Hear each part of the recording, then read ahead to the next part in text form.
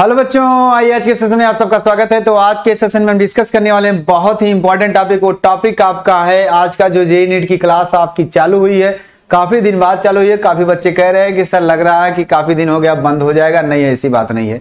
हमारी तबीयत बीच में खराब थी, आपको पता है।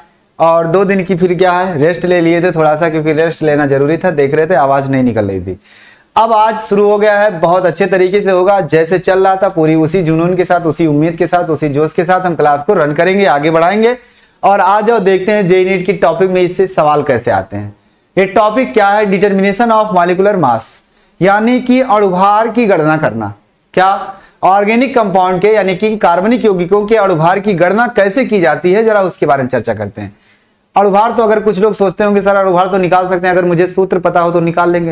है ना? लेकिन नहीं। अगर सूत्र नहीं आपको पता है तो कैसे निकालेंगे हम, उसका अणुभार कैसे निकालेंगे, उसके बारे में चर्चा करेंगे। तो सबसे पहले सब लोग को नमस्कार, सबको हेलो हाय, सब लोग को ढेर सारा प्यार, और सब लोगों को good morning good morning good morning फटाफट आना, देर मत करना, कॉपी और पेन लेकर के आना। काफ़ी दिन बाद मिले हैं, देख लेते हैं क्या होने वाला है। ये मत सोचना, ज़्यादा दिन बाद मिले हैं, ऐसा महसूस करना कि सर अभी कल थे, और आज भी उसी हुलिये में है, वही हुलिया है ना? कोई बदला तो है नहीं चेहरा वाला मेरा। वैसे चलिए देखते हैं कौन आ गए। खुशियाल चौहान आ गए हैं, हर्ष विश्वकर्मा आ गए विकास जी आ गए बहुत अच्छे भाई गुड मॉर्निंग और हाँ राम नारायण जी आ गए हैं, बहुत अच्छे बहुत अच्छे। पुष्पा हाँ क्या है? पुष्पराज भी आ गए बहुत अच्छे भाई। आ जाओ आ जाओ आ जाओ, जल्दी से आ जाओ, कोई देर मत करना, क्योंकि टॉपिक हमारा इतना अच्छा है, इतना अच्छा टॉपिक है भैया जी। डिटर्मिनेशन ऑफ़ मालिकुलर मास क्या है? डिटर्मिनेशन ऑफ़ मालिकुलर मास यानी कि हम क्या करेंगे? अणुभार की गणना करना। अणुभार की गणना कैसे कैसे की जाती है? जरा उसके बारे में चर्चा करेंगे। धीरे धीरे सब कुछ होगा, परेशान मत होना। आ जाओ, देखते हैं क्या होने वाला है। क्या होने वाला है? चले। हाँ जय हिंद सर। बिल्कुल, अमित चौहान जी, जय हिंद जय Hind. Ayush Malik, Manoj Kumar Chaurasia, good morning. बहुत अच्छे। ठीक, चले। यस सर चलते हैं तो मिलते हैं अगले दिन? नहीं, आज ही मिलेंगे, अभी नहीं जाना है।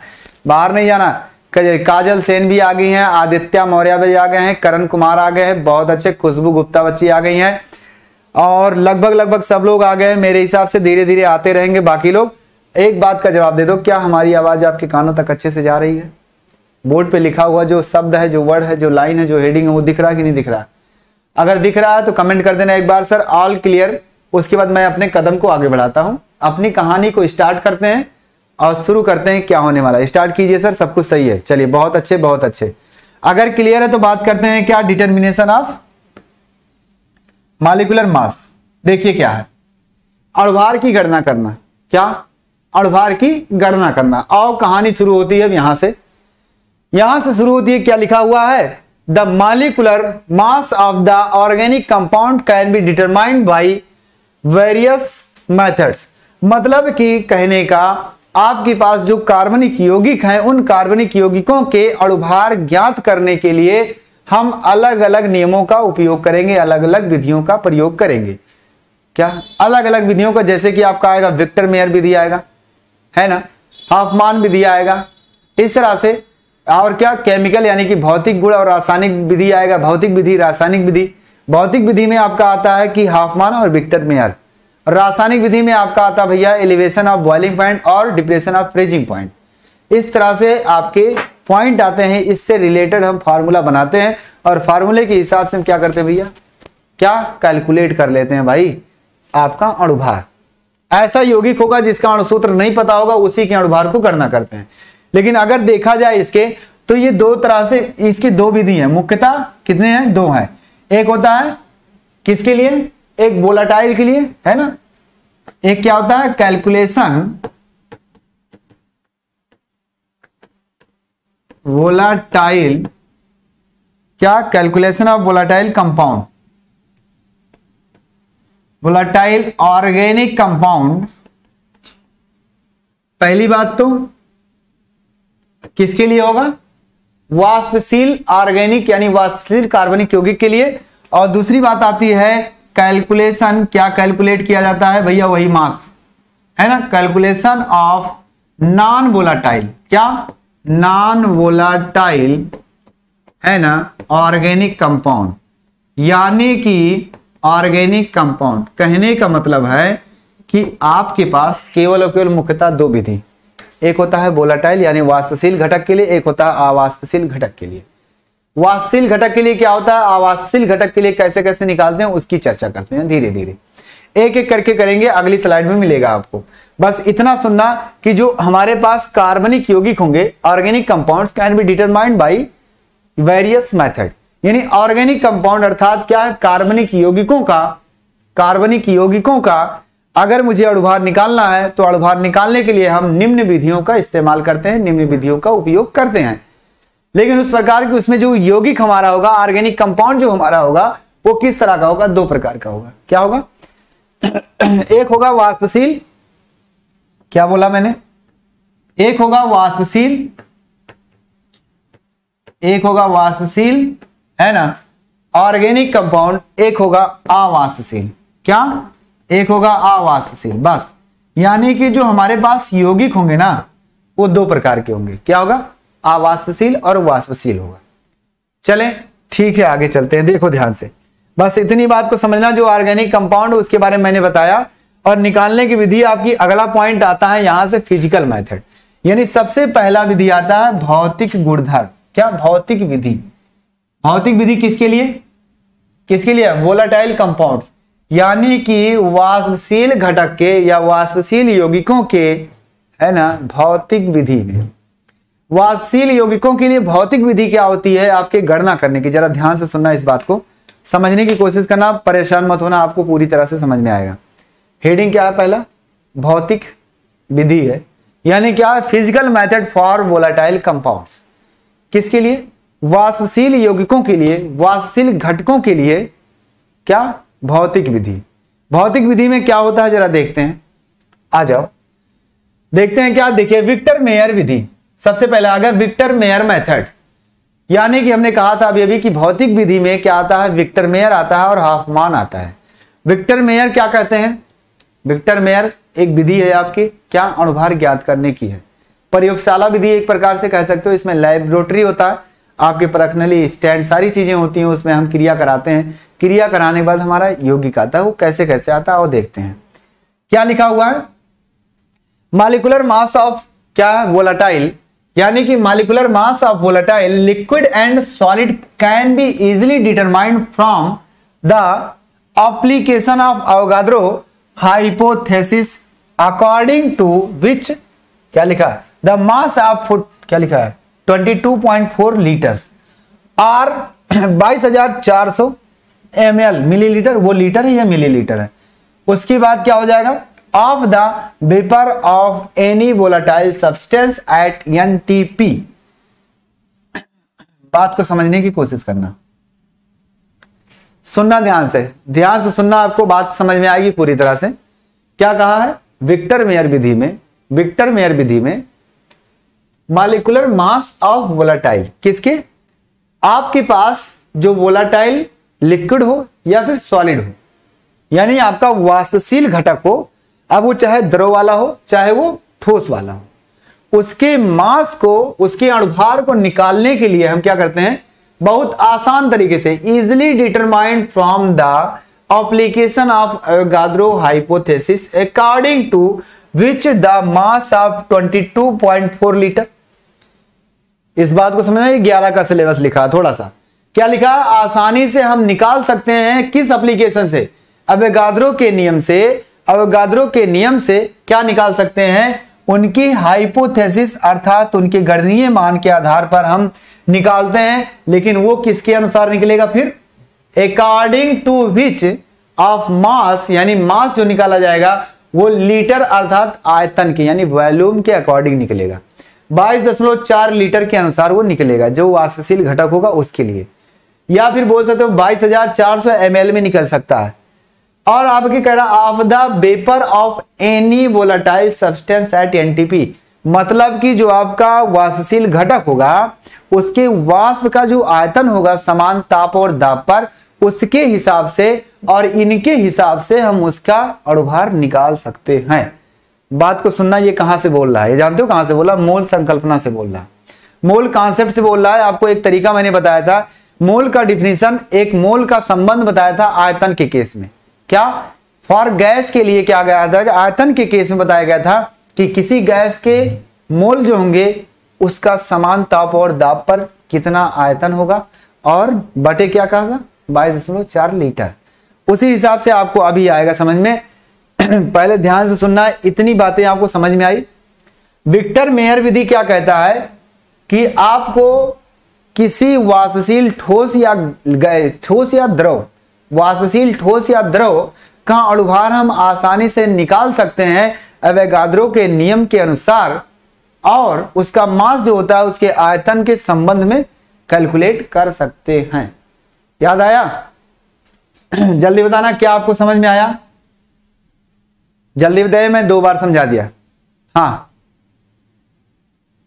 चलिए, बहुत अच्छे। ग्यारह में ये टॉपिक था। मनोज कुमार चौरसिया जी जल्दी से जवाब दे दिए, बहुत सही। ग्यारह में ये टॉपिक था, एकदम सही कहा आपने और पढ़े भी हैं, अच्छी बात है। जरा बताओ, ये टॉपिक आपको समझ में आया? हाँ। बताइए, क्या आपको ये समझ में आया?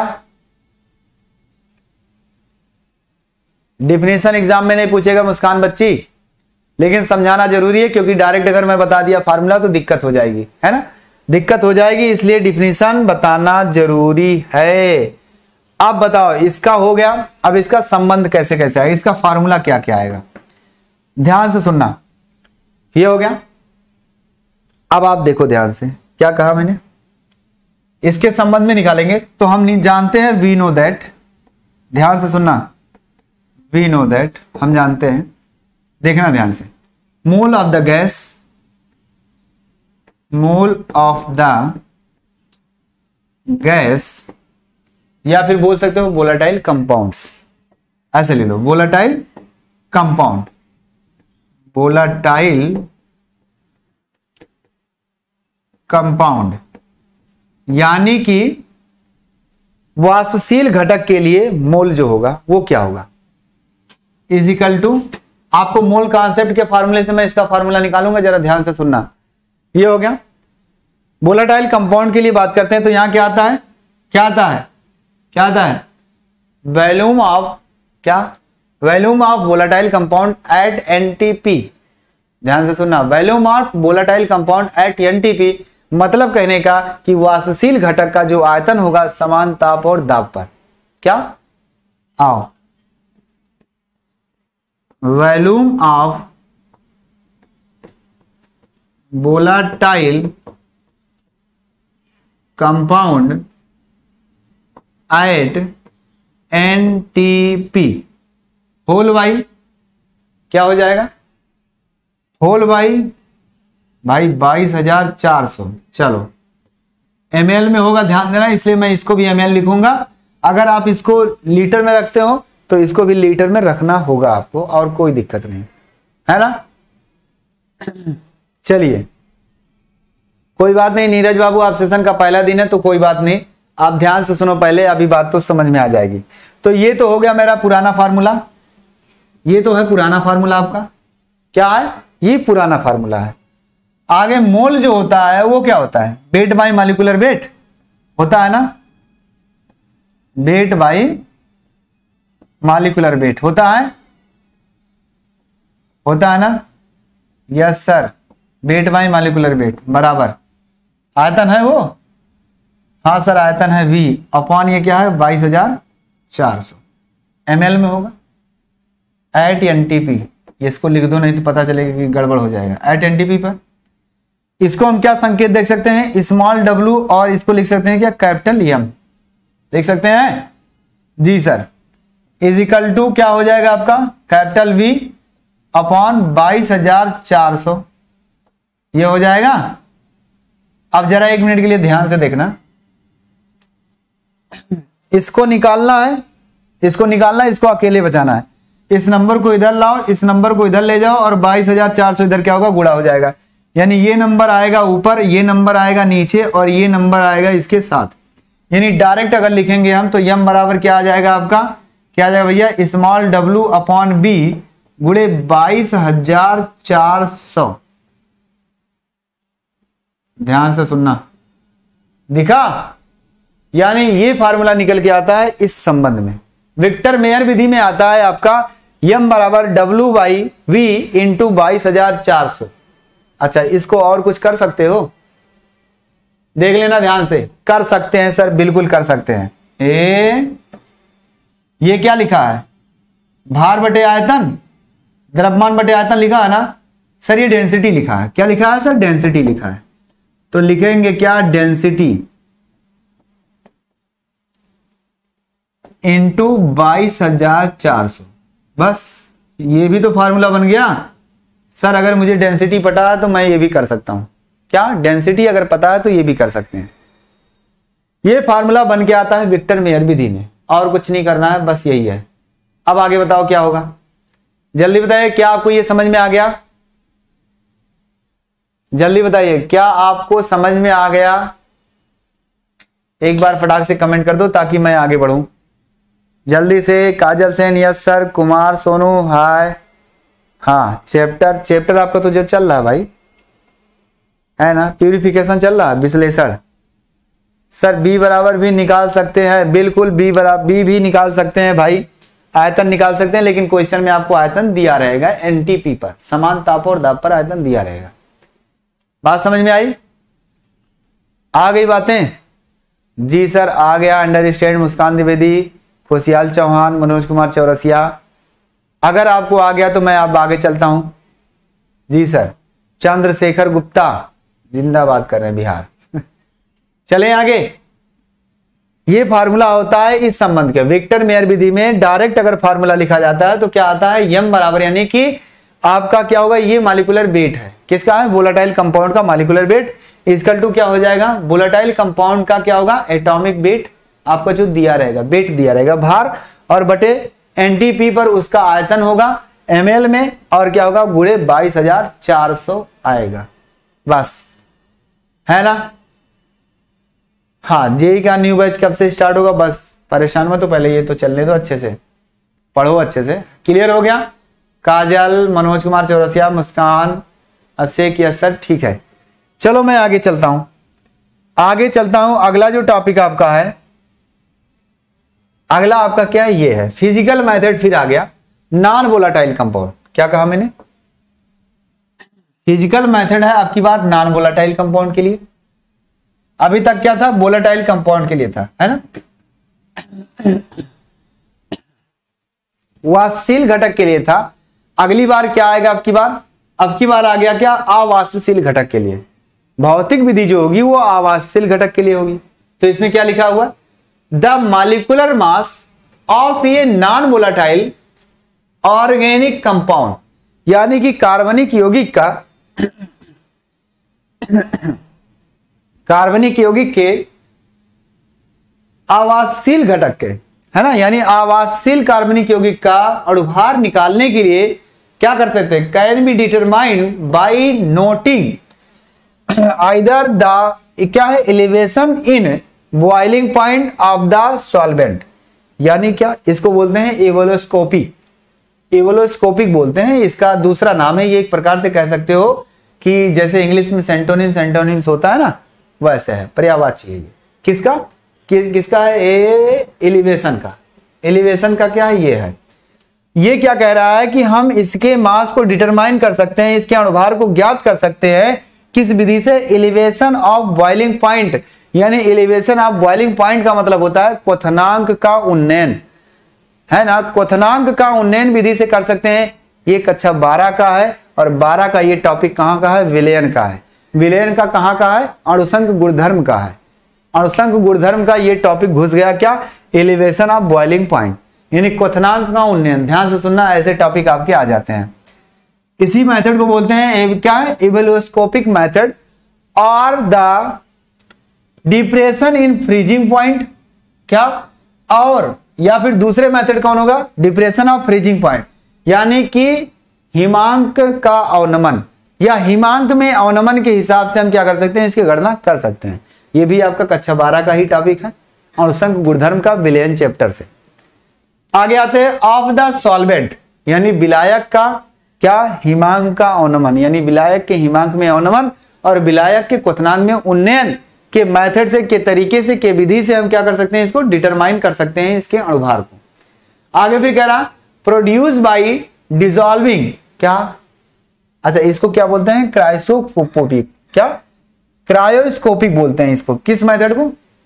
डिप्रेशन ऑफ़ फ्रीजिंग पॉइंट को क्रायोस्कोपिक बोलते हैं। और फिर कह रहा produce by the by dissolving a definite mass of the substance in a non mass of the ये क्या भाई, आधा लिखे ऑर्गेनिक कंपाउंड आगे क्या होगा इसके? आगे तो कंप्यूटर मॉडल लिखे ही नहीं। The non volatile organic compound. बस। ये होगा ध्यान से सुनना। मैं हिंदी बता रहा हूँ, इसकी परेशान मत होना। दोनों बताएँगे, ये दोनों जो बारह में हैं, बच्चे पढ़े हैं, वो तो याद होगा। जो नहीं पढ़े, उनको फिर याद आ जाएगा। इसलिए मैं कहता हूँ, बारह का पढ़ो। देखो कहाँ से कहाँ घुस गया। फ़िज़िकल मेथड में दिया नॉन वोलाटाइल में। नॉन वोलाटाइल यौगिकों का, अगर मुझे अणुभार निकालना है तो उसमें हम दो विधि का इस्तेमाल करते हैं। फिर किसके किसके मेथड से निकाल सकते हैं? यानी विलायक के क्या? क्वथनांक में उन्नयन से और विलायक के हिमांक में अवनमन से। ये क्या है? दो हमारे ऐसे गुणधर्म जो अणुसंग गुणधर्म जो क्वालिगेटिव प्रॉपर्टी है। कक्षा बारह में आप विलयन चैप्टर में, यानी सोल्यूशन चैप्टर में आपने पढ़ा होगा इसको। है ना? तो इसके बारे में चर्चा करते हैं, देखते हैं। यानी कि भौतिक गुणधर्म नॉन वोलाटाइल के लिए अगर अणुभार निकालना है तो मैं किसका उपयोग करूँगा? एलिवेशन ऑफ़ बॉइलिंग पॉइंट और डिप्रेशन ऑफ़ फ्रीजिंग पॉइंट दो का करूँगा, अब दोनों को करके देख लेते हैं, आओ। दोनों को करके देखते हैं, उसके बाद आगे बढ़ाएँगे बात को।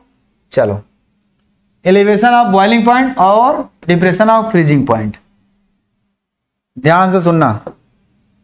क्या है? सबसे पहले देख लेना भाई। एलिवेशन ऑफ़ बॉइलिंग पॉइंट है ना?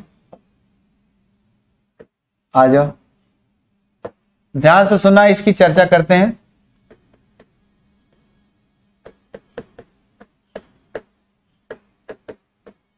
Elevation of boiling point of the solvent. Solvent यानी कि क्या है? विलायक के क्वथनांक का उन्नयन। है ना? विलायक के क्वथनांक का उन्नयन। हाँ क्वथनांक का उन्नयन है। ये हो गया, इसमें क्या होता है? विलायक का क्वथनांक का उन्नयन क्या कहता है? क्या कहता है? धीरे धीरे, सुनो ध्यान से। जब किसी विलायक में, यानी शुद्ध घटक में किसी आवासशील घटक को मिला दिया जाता है तो उसका जो क्वथनांक होता है ना, बढ़ जाता है। क्या? बढ़ जाता है, वो कुछ समय के बाद क्या हो, वो बनना शुरू होता है, यानी तापमान और ज़्यादा देना पड़ता है। वो क्वथनांक बढ़ जाता है, अर्थात जो क्वथनांक बढ़ता है तो इस डिफरेंट को, तापांतर को, यानी उस ताप के अंतर को क्या बोलते हैं? क्वथनांक का उन्नयन बोलते हैं। और वो क्वथनांक का उन्नयन क्या होता है आपका? उस विलेन की मोललता के समानुपाती होता है। यानी क्या है? Reversible proportional to molality of the solution यानी कि जो आपका एलिवेशन ऑफ़ बॉइलिंग पॉइंट होगा, वह हमारा क्या होता है? विलेन के मोललता के समानुपाती होता है। तो फार्मूला क्या आता है इसका? जरा ध्यान से देखना। ध्यान से देखना। जो आपका एलिवेशन ऑफ़ बॉइलिंग पॉइंट आता है इसका संकेत होता है delta T this is represented by भाई लिख लो। अगर आपको थोड़ा सा इंग्लिश लिखना है तो लिख लो, नहीं तो सर जी लिखे नहीं, है ना? This is the represented represented by delta T V, है ना? ये क्या है? एलिवेशन ऑफ़ बॉइलिंग पॉइंट क्या है? एलिवेशन ऑफ़ बॉइलिंग पॉइंट ये है आपका। और ये हमारा क्या होता है? वी नो दैट हम जानते हैं, डायरेक्ट लिखो, क्योंकि बारह में आप लोग पढ़ चुके हैं। वी नो दैट नहीं पढ़े, फिर भी समझ में आएगा। क्या है? We know that elevation of boiling point जो हमारा होता है, वो रिवर्सिबल प्रोपोर्शनल क्या होता है? मोलालिटी ऑफ़ द सॉल्यूशन क्या है? क्या है? Molality molality of the solution यानी कि विलयन के मोललता के समानुपाती होता है। क्या? विलयन की मोललता के समानुपाती होता है। आ जाओ। ध्यान से सुनना। याद आ रहा कि नहीं याद आ रहा? कक्षा बारह में जो पढ़े होंगे बच्चे, वो याद आ रहा कि नहीं आ रहा? है हाँ। एग्ज़ाम्पल एग्ज़ाम्पल बता देंगे बच्चे। परेशान मत हो। एग्ज़ाम्पल के लिए आपके पास क्वेश्चन बहुत है। आप उठा करके कहीं से भी क्वेश्चन देख सकते हो भाई। जल्दी बताइए, क्या आपको ये याद आ रहा है? जी सर, याद आ रहा है। ठीक है, चलो। Delta T V equal to जब हटता है तो क्या आता है? कांस्टेंट आता है के बी जिसे क्या बोला जाता है? मोलल उन्नयन स्थिरांक। है ना? और मोललता को क्या लिखते हैं? स्मॉल यम लिख दो। रिप्रेजेंटेड यही तो होता है, मोललता का। अब मोललता का फार्मूला अगर लिखना है तो आपको फार्मूला भी लिख दो, क्योंकि हमें क्या निकालना है? अणुभार निकालना है। तो अणुभार पे लेके रोकेंगे इसको। मोललता का फार्मूला क्या होता है? विलय के मोलों की संख्या बटे विलायक का भार केजी में। होता है ना? Number of moles of solute upon क्या है? अपॉन वेट ऑफ़ किसका? सॉल्वेंट इन केजी अब यहाँ से लिखेंगे, यहाँ से number of moles of solute upon क्या? मोलों की संख्या अपॉन क्या हो जाएगा? है ना? Weight of solvent in KG अगर केजी को ना किया जाए तो क्या होगा भैया? एक हज़ार से क्या करो इसमें? क्या करोगे? सर, इधर गुड़ा कर देंगे, सर इधर उधर हो जाएगा। खत्म बात। सर, इसी में एक हज़ार से गुड़ा कर देंगे तो ब्याज खत्म हो जाएगी। अब बात आती है कि इसको क्या करेंगे? नंबर ऑफ़ मोल्स को क्या लिखेंगे? वेट बाई मालिकुलर वेट लिखेंगे ना? हाँ सर, लिखेंगे। मैं पूरा फार्मूला लिख रहा हूँ, जरा ध्यान से सुनना। वेट बाई मालिकुलर वेट यानी कि इसको लिखेंगे मोल्स को। मोल्स बराबर क्या होगा? बेट बाई मालिकुलर बेट ये होगा? ये होगा ना? स्मॉल डब्ल्यू कैपिटल एम लिख देना। चलो लिख दो। क्या हो जाएगा? Delta T B equal to हो जाएगा सर क्या हो जाएगा? K B into small W upon capital M upon और ये क्या होगा? कैपिटल डब्ल्यू मान लो इसको। क्या मान लो कैपिटल डब्ल्यू कैपिटल डब्ल्यू मान लो। ये केजी में है। किसमें है? केजी में। इसको नीचे कर सकते हो? हाँ सर कर सकते हैं। Delta T B equal to क्या हो जाएगा? K B into small W upon क्या हो जाएगा? Capital M into capital W ये किसमें? के जी में। हो गया? जी सर, हो गया।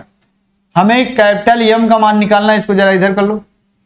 इसको इधर कर दो भाई। बाकी इनको इधर कर दो। तो क्या हो जाएगा आपका? Capital M equal to K V into small W upon delta T V और इंटू कैपिटल डब्ल्यू और केजी में। ये बन गया आपका क्या? क्या बन गया? ओ, सर, ये तो फार्मूला बन गया। है ना? ये तो सर फार्मूला बन गया है। ए भाई, तुम बढ़ो का है कहीं नहीं बढ़ रहे हो।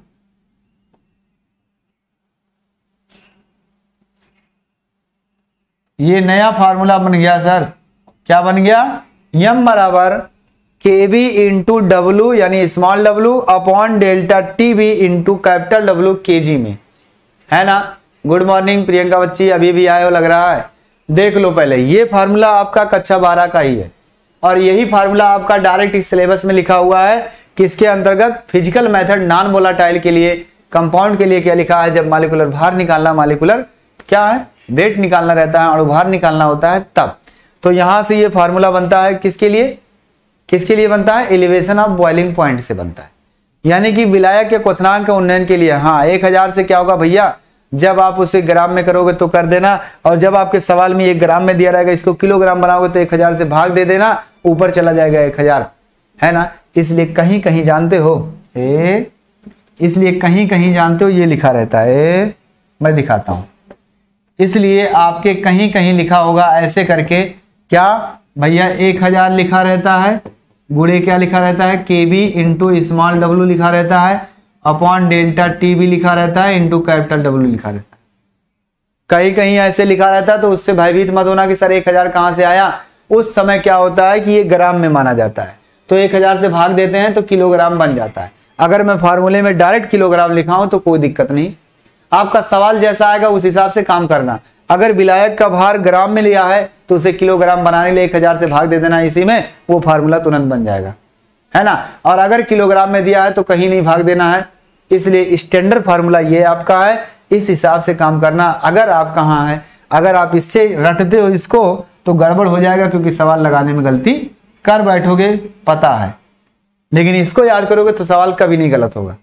चलो, अब बताओ कमेंट करो एक बार कि इतनी बातें आपको समझ में आ गई? मैं साइड हो जा रहा हूँ। हाँ। जल्दी बताइए, क्या इतनी बातें आपको समझ में आ गई?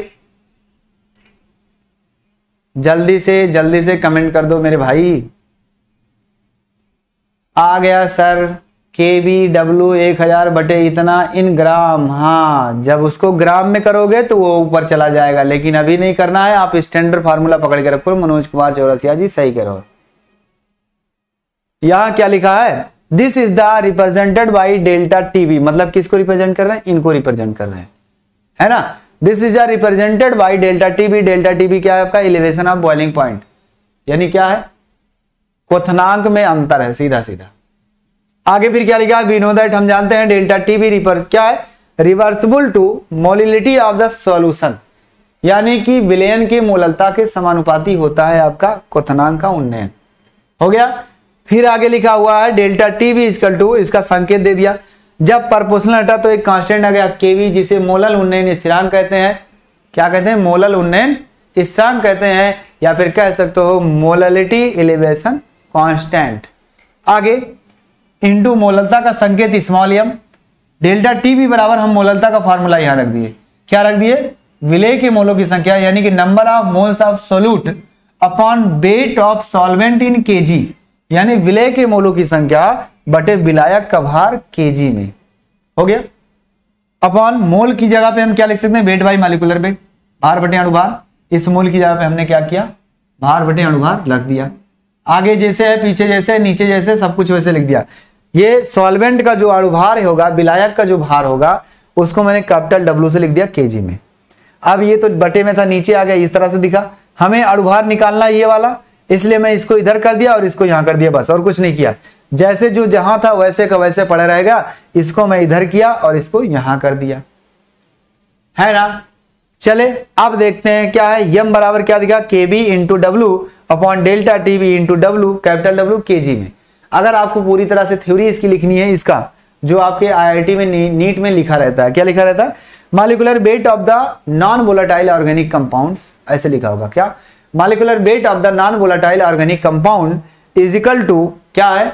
क्या है? Molar elevation of constant into क्या? क्या?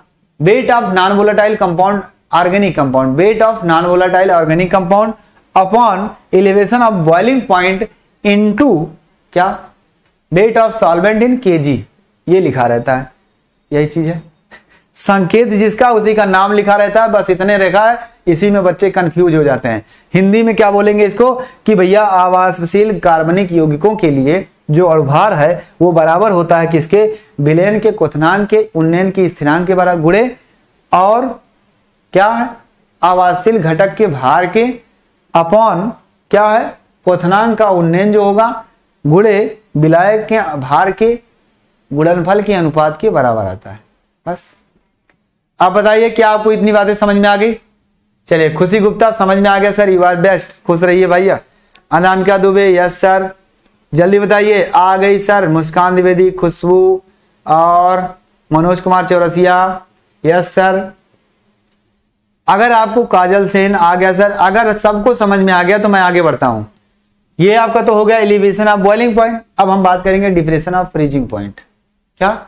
डिप्रेशन ऑफ़ फ्रीजिंग पॉइंट चले, आपको फार्मूला ये वाला पकड़ के रखना। लास्ट में ये वाला फार्मूला आपको डेरिवेशन नहीं करना, लेकिन मैं डेरिवेट करके बता रहा हूँ ताकि आपको समझ में आ जाए। और इसको और भी बेहतर समझना है तो आप बारह में जा करके लेक्चर को देख सकते हैं पीछे। बारह की क्लास में, है ना? हाँ हाँ के भी कांस्टेंट है। के भी क्या कांस्टेंट है? मोलल उन्नयन स्थिरांक है। चलो आ जाओ। ए, अगला। अगला क्या होगा? दूसरा वाला। दूसरा क्या है? क्या भैया? Depression of freezing point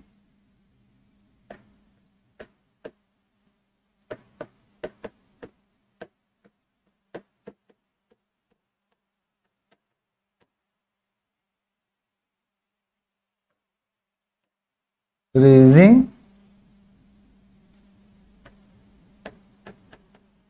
point of the solvent. ये भैया हिमांक में अवनमन, है ना? विलायक के हिमांक में अवनमन। ये भी आपका क्या है? कॉलिगेटिव प्रॉपर्टी है। कक्षा बारह में आपने बिलियन चैप्टर में पढ़ा होगा। हो गया? इसमें क्या होता है? इसका रिप्रेजेंटेशन कैसे होता है? This is a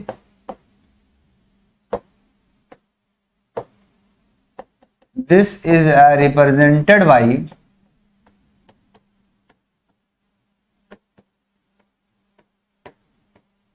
represented by delta T F freezing point है ना? हिमांक। डेल्टा टी एफ़ ये क्या है आपका? Depression of freezing point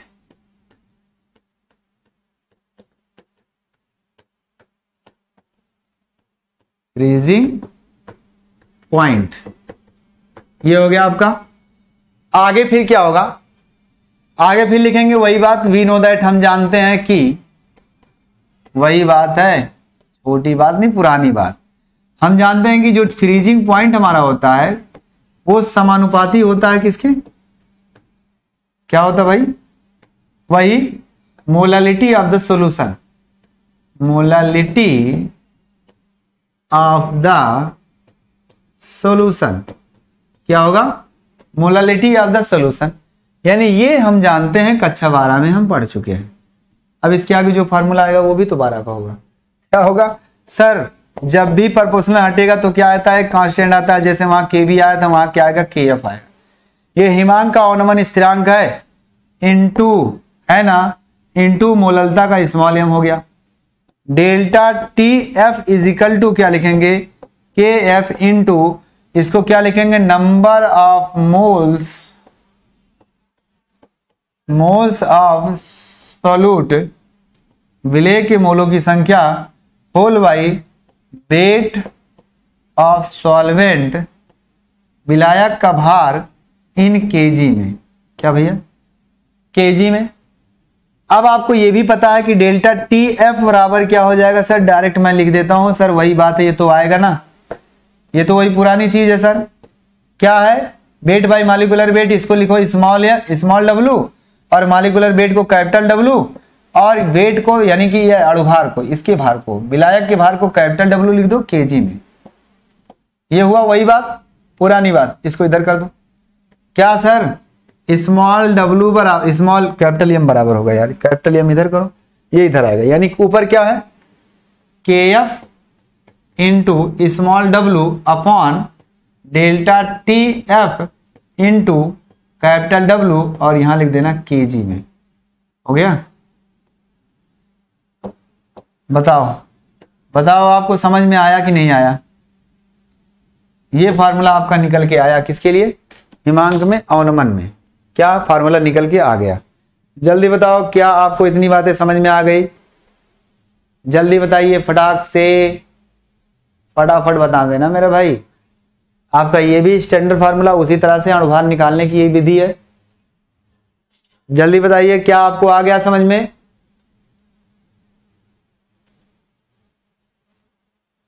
ओहो, खुशियाल चौहान जी, आपका फ़ोन डिस्चार्ज है? विनय कुमार पटेल जी, क्या दिक्कत है? अभी अभी आयो क्या लग रहा है? ठीक, कोई बात नहीं। क्लियर है? आकाश मौर्य जी कह रहे हैं, सर क्लियर हो गया। आगे बताइए। आगे। सब लोगों को क्लियर है या नहीं है? जल्दी बताओ, मैं आगे बढ़ू। ए भाई कमेंट कर दो ना यार। हो गया, सर। यस सर अच्छा कुछ कुछ। आ गया समझ में, सर। अनामिका को आ गया है, मनोज कुमार चौरसिया को आ गया है। हाँ। अरे भाई small W Manoj Kumar Chaurasia small W ये सिर्फ़ यन जो आपका है नंबर ऑफ़ मोल्स ये सिर्फ़ डब्ल्यू नहीं है small W by capital M है। Small W by capital M है। अगर अगर अगर मैं ऐसे, अगर मैं इसको ऐसे लिखता तो अगले स्टेप में नीचे करता कि नहीं करता? करता ना? अगर इसको बटे में लिखता, भार बटे अनुभार तो इसको नीचे करता ना? हाँ सर, करते तो मैं डायरेक्ट नीचे कर दिया हूँ यार। बस इतनी बात है, मनोज कुमार चौरसिया जी, इतनी बात समझ में आया? या सर आ गया सर समझ में? ठीक है, ये हुआ ये हुआ। फार्मूला बन गया आपका, ये। क्या बना? एलिवेशन ऑफ़ फ्रीजिंग पॉइंट वाला डिप्रेशन ऑफ़ फ्रीजिंग पॉइंट यानी कि हिमांक में अवनमन।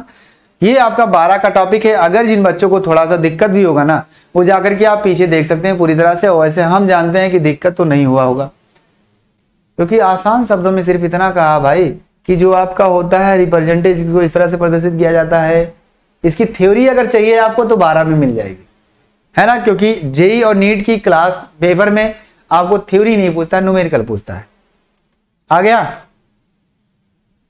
हाँ नीचे वाला जो लिखा हुआ है, मुस्कान बच्ची, देखो, delta T F equal to K F into number of moles of solute यानी विलय के मोलों की संख्या बटे विलायक का भार केजी में weight of solvent in KG नीचे क्या लिखा हो delta T F equal to K F into ये मोल को क्या लिख सकते हैं? डब्ल्यू बाई यानी कि बेट बाई मालिकुलर बेट भार बटे अणुभार भार को स्मॉल डब्ल्यू अणुभार को कैपिटल एम गुड़े बटे करके नीचे ये है तो नीचे क्या होगा? कैपिटल डब्लू और वो किसमें रहेगा? केजी में।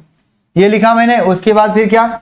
इसका मान निकालना है, इसका स्मॉल कैपिटल कैपिटल एम का तो इसको मैं इधर कर लूँगा, इसको इधर कर लूँगा, बस।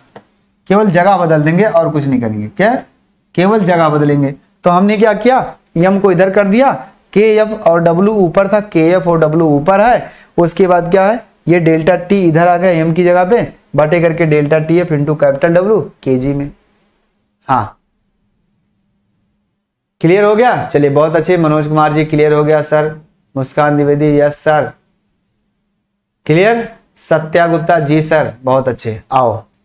आओ थोड़ा सा अपने कदमों को आगे बढ़ाते हैं और देखते हैं क्या होने वाला है इसके साथ। क्या होने वाला है इसके साथ? आगे। आगे क्या है? ये दो हो गए। केमिकल मेथड में आ जाते हैं थोड़ा सा। केमिकल मेथड में। चलो। इतनी बातें अगर समझ में आ गई तो भौतिक गुण खत्म हो गया। भौतिक गुणधर्म अर्थात भौतिक विधि जो था आपका, वो खत्म हो गया। अब आपका शुरू होता है। अब आपका शुरू होता है क्या? हाँ। नाउ क्लियर क्या है? केमिकल मेथड्स यानी रासायनिक गुणधर्म। अर्थात रासायनिक विधि में क्या होगा? रासायनिक विधि में हम क्या करते हैं? रजत साल्ट होता है। रजत लवण विधि से करते हैं। सबसे पहली विधि आती है रजत लवण विधि, जिसे कहा जाता है क्या? सिल्वर साल्ट मैथड क्या कहा जाता है? सिल्वर साल्ट मैथड ध्यान से सुना। केमिकल मेथड में आपका पहला मेथड आता है सिल्वर साल्ट मेथड हिंदी में कहा जाता है रजत लवण विधि। क्या करते हैं? जानते हैं इसमें? इसमें आपका एक सिल्वर का लवण होगा। उस सिल्वर के लवण से कुछ सिल्वर विस्थापित होगा। कुछ सिल्वर अवशेष बच जाएगा। इसी के रेशियो से, अर्थात इसका रेशियो कैसे निकलेगा? वो मैं आपको एक हिंट देता हूँ। आपने पढ़ा होगा रासायनिक बलगतकी में। पढ़े हो? कहाँ पढ़े हो? इसी में मैं पढ़ाया हूँ आपको। क्या है? ऊष्मा गतकी में मैं पढ़ाया हूँ। ऊष्मा गतकी में यानी थर्मोडाइनमिक्स में हमने पढ़ाया था सेकंड लॉ ऑफ़ थर्मोडाइनमिक याद आया? सेकंड लॉ ऑफ़ थर्मोडाइनमिक उस हिसाब से क्या बताया गया था कि जो आपके इलेक्ट्रोड पर निक्षेपित पदार्थ होते हैं, है ना? या आप उसको अगर ना जाने तो आप यहाँ पढ़े होंगे वैद्युत रासायनिक श्रेणी माने में। क्या है? क्या पढ़े होंगे? वैद्युत रसायन वाले चैप्टर में इलेक्ट्रोकेमिस्ट्री में आपने पढ़ा होगा कि इलेक्ट्रोडों पर जब दो विलेन होता है, उस दो विलेन में दो इलेक्ट्रोड अलग अलग डाले जाते हैं तो उस इलेक्ट्रोडों पर जो निक्षेपित पदार्थ की मात्रा होती है, उनके तुल्यांकी भारों के क्या अनुपात के बराबर होता है। यही कहा था ना? वहाँ भी यही लिखा था, सिल्वर पर। अर्थात सिल्वर का भार और क्या है? कापर का भार। उधर लिखा था, सिल्वर का तुल्यांकी भार और कापर का तुल्यांकी भार। लेकिन यहाँ कुछ थोड़ा सा अलग बोलेंगे। मेथड वही रहेगा, तरीका वही रहेगा, बोलने का तरीका थोड़ा सा अलग होगा। फार्मूला भी वही आएगा, लिखने का तरीका भी थोड़ा सा अलग होगा। आओ, अगर आप पीछे पढ़े हैं तो आपको समझ में आएगा। देखिए, यहाँ मैंने क्या किया? ध्यान से सुनो। सिल्वर सॉल्ट मैथड, यानी इस मैथड में, इस विधि में, फॉर एसिडिक, किसके लिए? किसके लिए? यानी अम्ल के लिए रजत लवण विधि। It is based on the fact that silver salt of an organic acid on heating gives residue क्या लिखा है? रेसिड्यू ऑफ़ मेटेलिक सिल्वर मतलब कह रहा है कि इस विधि में हम क्या करते हैं? क्या करते हैं? सिल्वर साल्ट को मतलब सिल्वर लवण को ऑर्गेनिक कंपाउंड के ऑर्गेनिक एसिड यानी कि क्या कार्बनिक अम्ल में मिला करके उसे गर्म करते हैं हीट करते हैं। वो क्या होता है? रेसिड्यू अर्थात टूट जाता है किसमें? सिल्वर धातु में। क्या होता है? सिल्वर धातु में वो टूट जाता है। है ना? हाँ वो क्या होता है? सिल्वर धातु में टूट जाता है। ध्यान से सुनना। जब उसको हम गर्म करते हैं, इस सिल्वर के लवण को ऑर्गेनिक कंपाउंड के साथ, ऑर्गेनिक एसिड के साथ क्या करते हैं? जब हम गर्म करते हैं तो वो सिल्वर धातु में टूट जाता है। टूटता है तो क्या होगा? जरा देखना ध्यान से। नीचे क्या लिखा है? क्या है? Molecular mass of the acid molecular mass of the acid equivalent mass of the acid and basicity जानते हो ये क्या लिखा हुआ है? जानते क्या लिखा है? तुल्यांकी भार। तुल्यांकी भार का फार्मूला आपको फिर पढ़ाया गया था। कक्षा बारह में ही। क्या कहा गया था? तुल्यांकी भार बराबर होता है। और भार बटे संयोजकता। कहा था ना शॉर्टकट में? लेकिन संयोजकता की जगह पे क्या आया था कि यदि तुल्यांकी भार अम्ल का निकालना है तो संयोजकता की जगह पे क्या लिखेंगे? क्षारियता। और यदि तुल्यांकी भार क्षार का निकालना है तो संयोजकता की जगह पे क्या लिखेंगे? अम्लीयता। वही चीज़ है। अम्ल का निकालना था। Molecular mass of the acid, यानी अणुभार निकालना था किसका भैया? अम्ल का। अणुभार अम्ल का निकालना है तो क्या होगा? इक्विवेलेंट बेस यानी इक्विवेलेंट मास अर्थात तुल्यांकी भार होगा हमारा। किसका? अम्ल का। और उसकी क्षारियता होगी। अब बात आती है, सर, ये थोड़ा सा नहीं हमको समझ में आ रहा सर, आप जो बारह में बताए थे, वो बता दीजिए। हिंदी में बता देते हैं, आराम से। तुल्यांकी भार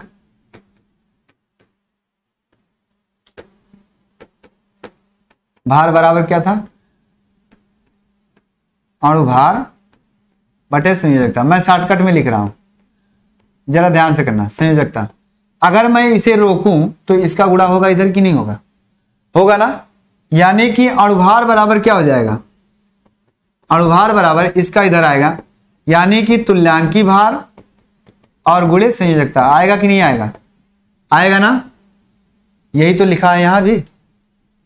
यही तो लिखा है यहाँ भी भाई। यही तो लिखा है अणुभार बराबर तुल्यांकी भार गुड़े संयोजकता। ये भी लिखा है यहाँ। है ना? यही चीज़ यहाँ लिखा बसरते क्या लिखा है कि अगर ये अणुभार किसका होगा? एसिड का। तो ये तुल्यांकी भार किसका होगा? एसिड का। और एसिड की संयोजकता कहाँ से निकलेगी? क्षारियता से निकलेगी। तो यहाँ क्या लिखेंगे? क्षारियता। बताओ, समझ में आया? इसे भी पढ़े हैं सर, आपसे ही। बिल्कुल, आप बता दिए। मनोज कुमार जी ने कहा, सर, आपने ही पढ़ाया है, ये ट्वेल्थ में मैं पढ़ चुका हूँ इसको। बहुत अच्छी बात है। जल्दी बताए, बाकी लोग कितने लोगों को याद आया ये चीज़?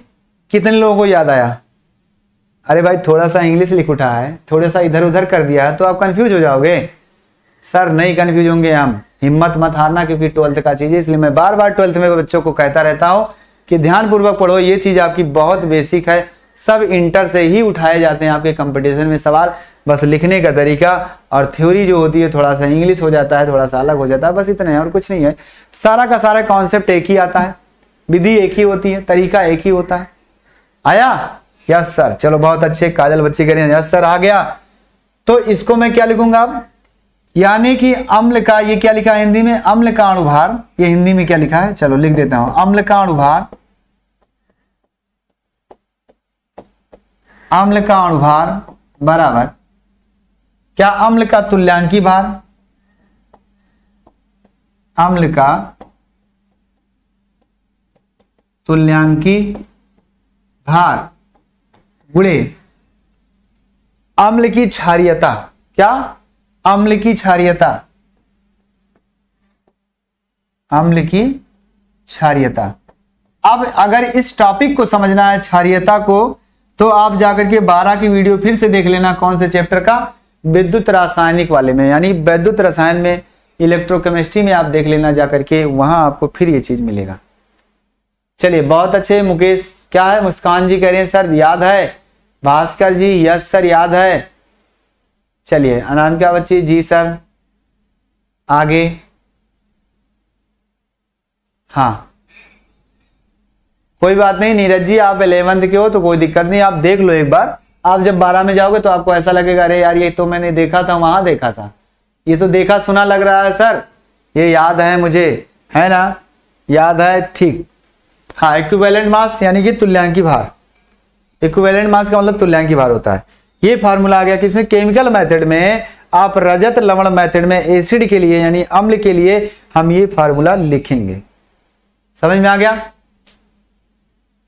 आई बात समझ में? चलो आगे चलते हैं। ध्यान से सुनना।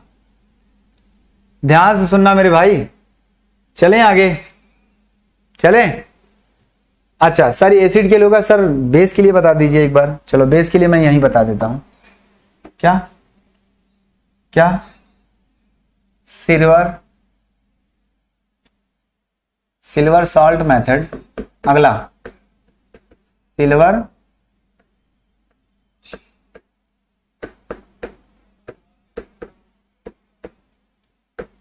For base silver salt method for base आओ। ए भाई। क्या करना है? इसमें भी क्या करना है? हमें बेस से क्या करना है? हीट कराना है। अर्थात आपका जो सिल्वर साल्ट होगा R C double O A G जो होगा, वो किसके साथ मिला करके? क्या भैया? ऑर्गेनिक बेस होगा। Organic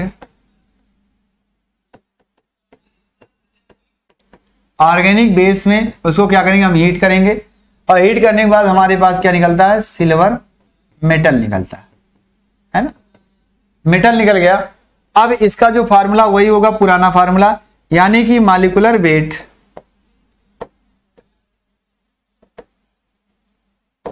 molecular weight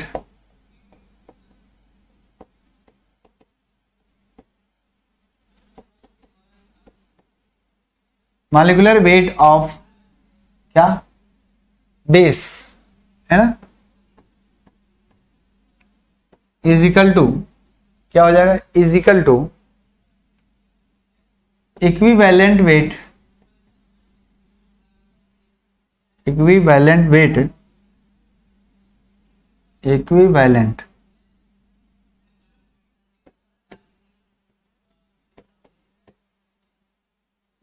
equivalent. Mass mass of base into क्या? एसिडिटी एसिडिटी मतलब क्षारियता। ये होगा, इसकी हिंदी क्या हो जाएगी आपकी? क्षार का अणुभार क्षार का अणुभार बराबर क्षार का तुल्यांकी भार, क्षार का तुल्यांकी भार गुणे क्षार की अम्लीयता, क्षार की अम्लीयता। बस यही इतनी बात है। और कुछ नहीं बात है। बताओ, आप अब निकाल सकते हो और बार हाँ कापर से क्रिया से बताइए। अच्छा सल्फ्यूरिक अम्ल के कापर की क्रिया से नहीं बताना, हमें सिर्फ़ और सिर्फ़ इतना बता देना है आपको। आपको दिमाग में ये बात नहीं समझ में आ रही है है ना, क्षारियता वाला? देखो, अगर मान लेते हैं मेरे पास, सुनो ध्यान से, सुनो, अगर मान लेते हैं सिल्वर, लो भाई, सिल्वर सिल्वर लवण है, मान लो, सिल्वर सल्फेट है, इसको क्या करना है? एसिड के साथ क्या करना है भैया? गर्म करना है। अर्थात गर्म कर दिए जब तो सिल्वर अलग हो गया और H2SO4 अलग हो गया। ये हुआ। अब इसकी जो क्षार, इसकी जो अम्लीयता होगी, इसकी जो क्षारियता होगी, ध्यान से सुना परेशान मत होना। लास्ट टॉपिक चल रहा था, लाइट महाराज धोखा दे दिए, है ना? अभी आ जाएगा थोड़ी देर के लिए। और वैसे भी आप निकाल सकते हो, ध्यान से सुनना मेरी बातों को। मैं जो कहना चाहता हूँ देखिए, क्षारियता और अम्लियता जो निकाली जाती है, जैसे अम्ल हमारा है, उसकी क्षारियता का मतलब होता है कि उस अम्ल को न्यूट्रल करने के लिए हाँ उस अम्ल को न्यूट्रल करने के लिए, है ना, कितना ओ OH लगेगा? तो कितना ओ OH लगेगा भैया? दो एच प्लस है तो दो ओ OH माइनस लगेगा और कुछ लगेगा नहीं। यही है। ऐसे अगर आपके पास क्षार है तो उसको उदासीन करने के लिए कितना एच प्लस लगेगा? अगर ओ OH दो बार है तो दो ओ OH लगे, दो एच लगेगा, है ना? तो उसकी क्षारियता, यानी कि जब अम्ल को उदासीन करना होगा तो ओ OH का इस्तेमाल करते हैं, इसलिए उसकी क्षारियता बोलेंगे। और जब क्षार को उदासीन करना होगा तो एच प्लस का इस्तेमाल करते हैं, इसलिए उस क्षार की अम्लीयता बोलते हैं उसे। आप कक्षा बारह में जाकर के उस सेशन को देख लेना। आई होप आप लोगों को समझ में आ गया होगा। बताइए जल्दी से, समझ में आ गया? बंद करते हैं यार। वहीं तक था लास्ट टॉपिक अगले दिन हम डिस्कस करने वाले हैं क्या? कार्बनिक यौगिकों का वर्गीकरण। उसके बाद हम देखेंगे आईपीएससी नामन क्लेचर कुछ आपके कंपटीशन में आने वाले साइक्लिक रिंग के बड़े बड़े एग्ज़ाम्पल हैं, बहुत अच्छे अच्छे उसको डिस्कस करेंगे। तो समझ में आ गया? जल्दी बता दो, चले आगे फिर। अगर आपको समझ में आ गया तो फिर आगे चलें। जल्दी बताइए, क्या आपको समझ में आ गया? यस सर क्लियर हो गया। चलिए, बहुत अच्छे। आई होप आप लोगों को अच्छे समझ में आ गया होगा तो मैं उम्मीद करता हूँ, आशा करता हूँ, और भी अच्छे से अगला सेशन आपको आएगा समझ में। बस धैर्य बना के बैठे रहना, परेशान मत होना, सब कुछ होगा, चलते हैं, अगले दिन मिलेंगे, अगले टॉपिक के साथ ओके बाय बाय परेशान मत होना मेरे भाई, मेरे लाल बाल गोपाल।